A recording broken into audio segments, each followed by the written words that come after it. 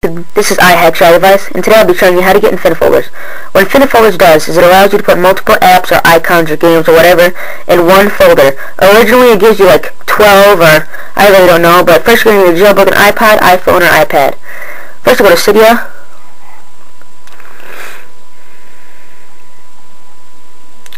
You go to Search, or not Search, but Manage, Sources, Edit, Add,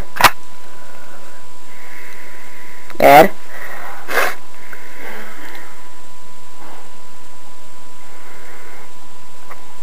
then you type in repo period insane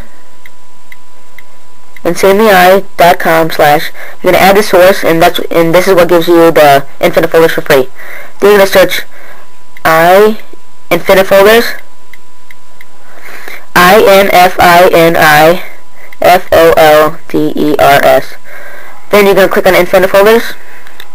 Then, um, then you click Install, Confirm, and then once it does that, down here it should say, oh, after it's done doing all this weird stuff, at the bottom it should say Restart Springboard. You click on that, let your device reboot, and then once it reboots you should unlock your device and then you should have infinite folders and you could put as many icons, apps, or games in one folder.